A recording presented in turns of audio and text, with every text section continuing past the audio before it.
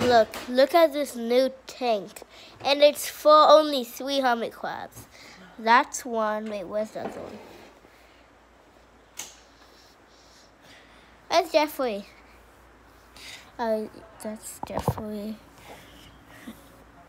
And do you see that pink thing? That is my sister's. And I don't know where my brother is. My brother's one is. Okay, so, so I'm gonna check, okay?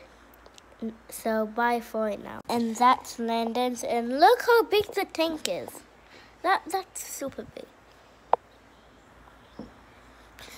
He lives in a he lives in a pineapple under the sea.